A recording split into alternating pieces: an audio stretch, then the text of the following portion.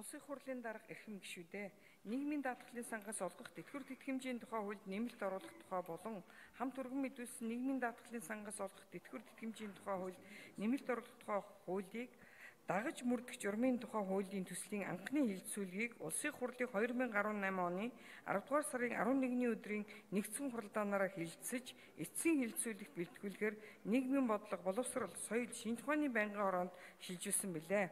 Байнгын хороо 2018 оны 10 дугаар сарын 16-ны өдрийн хуралдаанаараа тус хуулийн төслүүдийн эцсийн хилцүүлгийг явуулж нэгдсэн хуралдааны анхны хилцүүлгээр санал хурааж шийдвэрлсэн зарчмын зөрүүтэй саналын томьёолыг хуулийн төслийн холбогдох заалтад тусгаснаас гадна хууль зүйн техникийн талаас нь хянан үзэж үг хэллэг найруулгын шинжтэй засвар өөрчлөлтийг хийж төслийг эцсийн хувилбарыг бэлтгэлээ. Хуулийн төслийн эцсийн хөлбөрийн төсөл эцсийн хилцүүлэгт бэлтгэсэн тухай байнгын орооны танилцуулгыг та бүхэнд тараасан байгаа.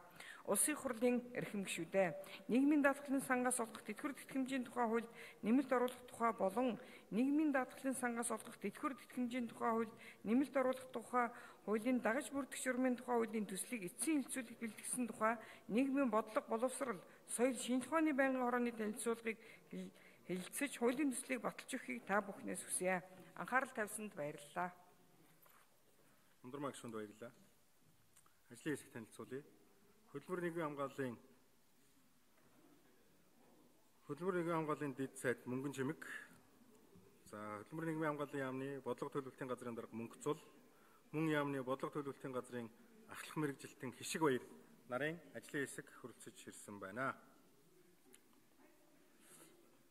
За Байнгын хорооны танилцуулгатай холбогдуулаад асуулт асуух гүшүүд байна уу?